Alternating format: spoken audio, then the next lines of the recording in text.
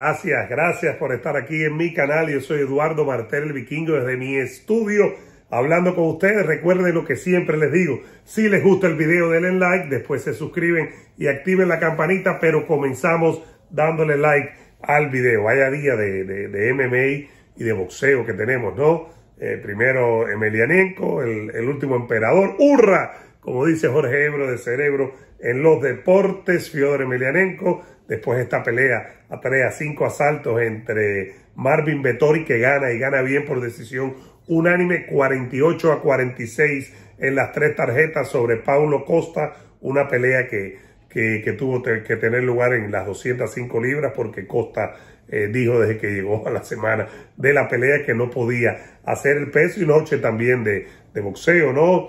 Con la la, pelea de Shakur Stevenson retando a Yamel Herring y el boricua Sander Sayas, uno de los grandes prospectos del boxeo. Por aquí estamos, recuerden, les gusta el video, les pido siempre un like, después se suscriben y activen la campanita. Bueno, eh, conclusiones de esta pelea. Primero, y ya lo dije, ¿no? Creo que gana Vettori y gana bien. Eh, Vettori viene, el italiano no había peleado desde que perdió con Adesanya, lo mismo con Costa. Costa se había demorado más en pelear porque le habían ofrecido dos peleas y había dicho que no, ya le tocaba pelear. Bueno, eh, creo que gana la pelea por actividad y por la cantidad de golpes, dio más golpes. Eh, pasó de 150 contra 67, 151, ¿no? A 67, más de 150. Vettori Creo que el primer asalto podía ser de Costa, el último también, increíblemente el brasileño se recupera y conecta, conecta, se cansó en ese momento, uno hubiera pensado que iba a ser al revés, pero el que se cansó en ese momento fue Vettori, este, y, de todas maneras termina ganando el punto también que le quitan por el dedo en el ojo, a Paulo Costa lo penaliza evidentemente, pero creo que queda claro que Paulo Costa, hablando primero del perdedor, antes de darle, darle todo el crédito, el reconocimiento del mundo al ganador, al italiano. Creo que Paulo Costa tiene que chequear sus prioridades, creo que tiene que chequear cuán comprometido está con su profesión, con el UFC, con el hecho de ser un peleador de artes marciales mixtas, que ya eh, fue por el campeonato, eh, que ha peleado con los mejores, que fue dominado totalmente, humillado por Israel Adesanya y que ha buscado justificación una tras otra, tal vez la misma, el tema de la borrachera de vino la noche antes de la pelea, pero que al final en el segundo asalto Adesanya lo liquidó. Este Paulo Costa, primero que ya parece que no va a pelear más en 185, el UFC no va a correr más riesgo con él de darle una oportunidad en las, eh, en las 185. Eh, Paulo Costa de hoy eh, hubiera sido bloqueado por Israel Adesanya, por el neozelandés me parece a mí. Vettori agrega un muy buen triunfo a su carrera, eh, va a regresar a las 185, no tenía ningún problema, aceptó eh, pelear en, la, en las 205, le deben haber pagado, primero era 20%, si era en 195, esa especie de,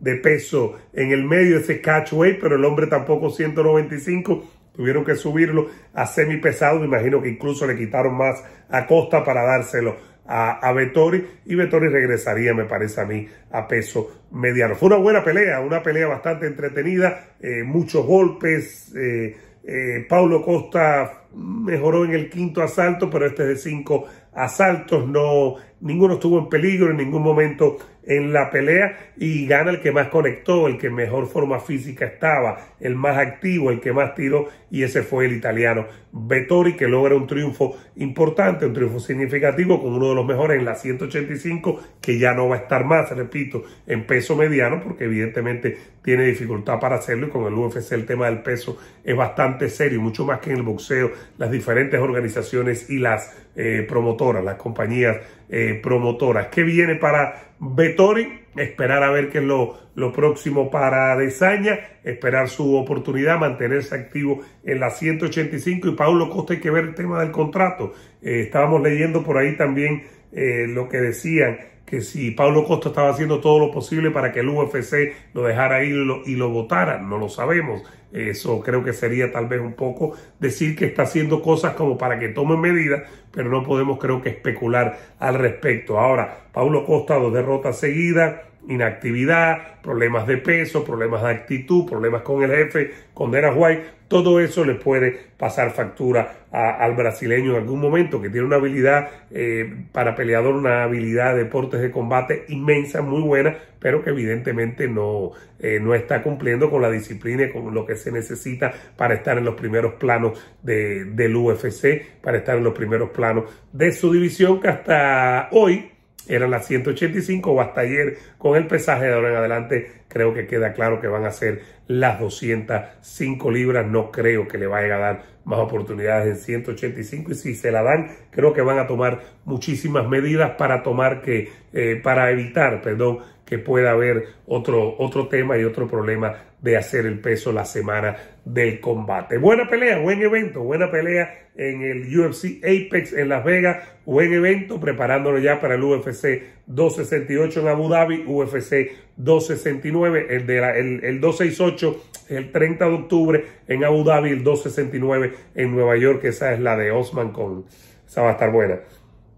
Osman con Covington, esa está, va a estar muy, pero que muy buena. Pero al final nos entregaron un muy buen combate, entretenido. Nos lo entregaron eh, eh ahora eh, y Paulo Costa, y es una lástima eh, que Paulo Costa con todas esas habilidades que no esté al 100% metido en esto, porque tiene muchísimas habilidades. Un cuerpo, una habilidad, un golpeo, una mandíbula, le dio bien Vettori, las aguantó todas sin ningún problema. Pero así es la vida, así es el deporte de combate, si no estás al 100% es prácticamente imposible.